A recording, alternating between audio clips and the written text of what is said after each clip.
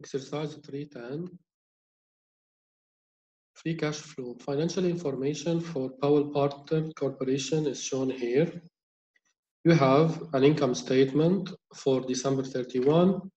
All the numbers are in terms of millions of dollars, and you have a balance sheet for the two periods, comparative balance sheet and the comparative income statement for Powell Panther Corporation. The first question is, what was net working capital for 2007 and 2008? So in part A, we need to calculate the net working capital for 2007 and net working capital for 2008. As you all know, working capital is current assets minus current liabilities excluding note payable always excluding note payable even if you see note payable in current liability section you don't take into consideration note payable. So current assets you have total current assets for 2007 you refer to the balance sheet. Total current asset for 2007 is a 360 in terms of million of course minus current liabilities excluding note payable, you can see here that notes payable is already added to the liability section. You don't take it into consideration. What we are going to take is accounts payable in addition to accruals. So this would be 90 plus 60 in terms of current liabilities. Okay, and the answer would be 36 million minus 150 million. That would be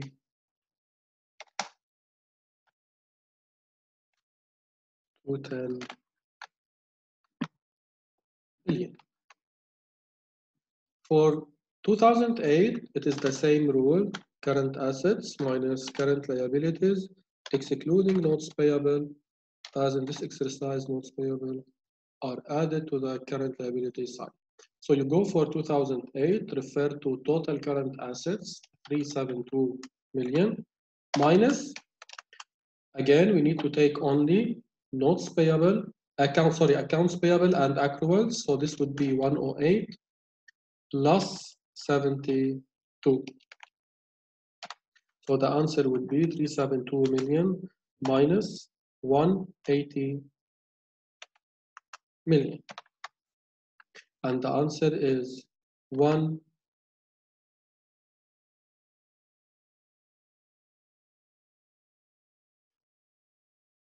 80 million. The answer would be 192 million.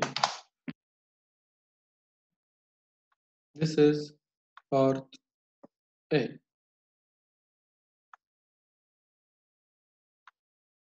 B part B, what was 2008 free cash flow?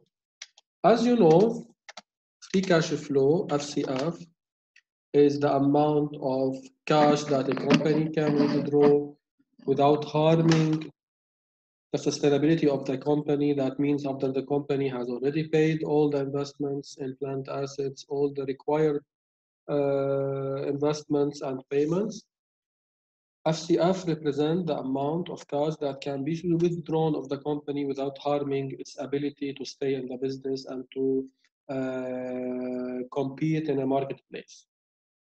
FCF, as you know, has a rule. So we have to calculate FCF for 2008. FCF can be equal to EBIT into 1 minus T plus depreciation expense minus capital expenditures, which is known as CFI in current in your cash flow statement, plus change in working capital.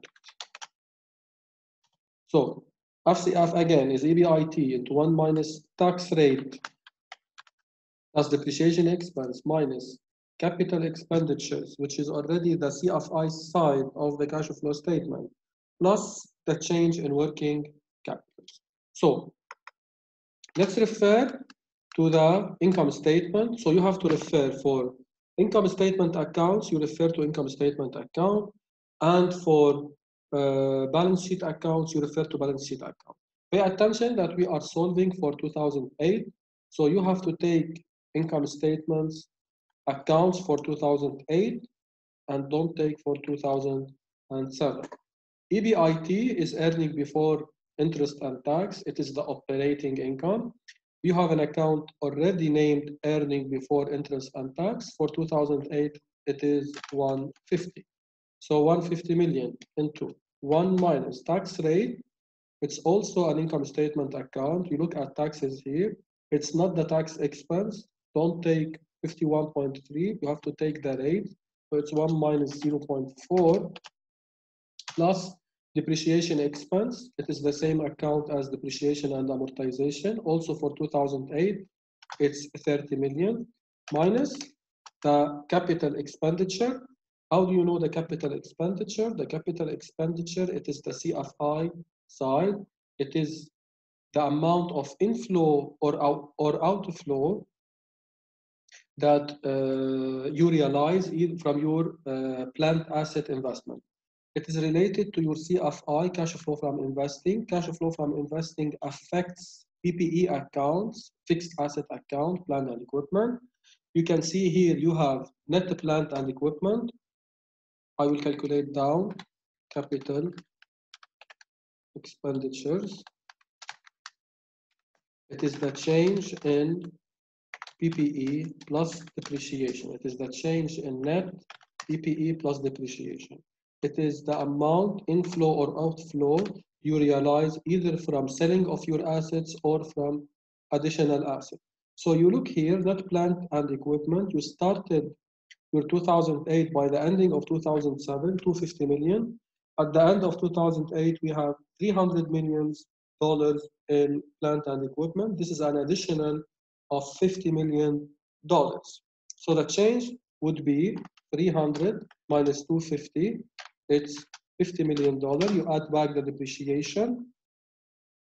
You add back the depreciation, refer to 2008, it's 30 million. Then you have 80 million. This is the capital expenditure. Now, is it an outflow or an inflow? Because your plant and equipment increased from one year to another, you started by 250, you ended up with 30 million. It is an outflow. So this would be a negative, this would be a negative capital expenditure, and you have a negative outside, a negative sign outside the bracket. So you leave it 80 million, it's 80 million as it is, because now once you open the bracket, the number will be minus 80 million. Minus 80 million means that it is an outflow. How did we know it's an outflow? There is an increase from your plant assets from year 2007 to year 2008. So minus 80 million plus the change in net working capital. The change in net working capital is year two minus year one working capital. So that would be net working capital 2008 minus net working capital 2007. That would be 192 minus 210. That would be negative, and that would be, of course, negative 18 thousand, 18 million, sorry, 18 million. So adding up minus capital expenditure, you have it 80 million plus the change in net working capital plus 18 million. Don't forget you have a negative sign outside and this would be negative 18 million.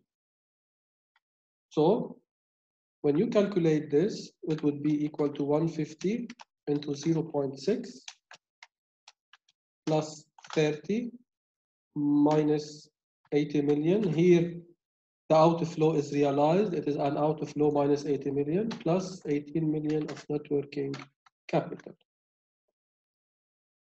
So the final answer would be 58 million dot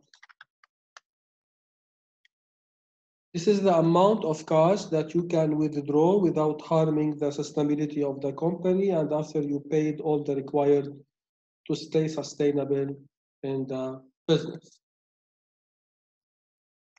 Part C, how would you explain the large increase in 2008 dividends? If you look at the dividends, it's common dividends in the, in the income statement sheet, you have already paid 46.4 million dollars. In 2008, you paid 60.5. So you have 60.5 million dollars paid as dividends for common stockholders to satisfy their uh, desirability in having higher returns. The large amount of common dividends, 60.5, can be referred to the large FCF. When your FCF is large, that means you can pay, there is a lot of, there is an amount of money that we can pay without harming the sustainability of the company. When FCF is very high, that means you can pay a large amount of cash without affecting negatively the company. So we will say that the distribution of high dividends in 2008 an amount of 60.5 million dollars